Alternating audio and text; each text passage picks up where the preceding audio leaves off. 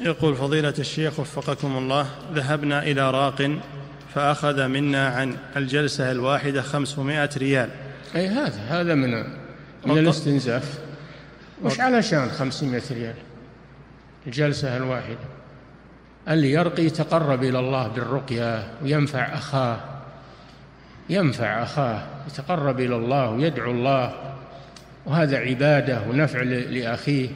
فكيف أنه يستغله لجمع المال.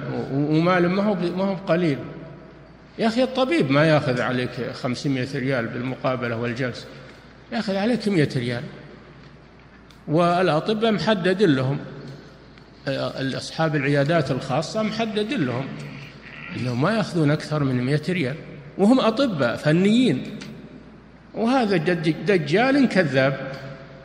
يأخذ خمسمائة ريال علشان دقائق تجلس عنده. هذا ما جاء لينفع الناس جاء ليضر الناس. نعم.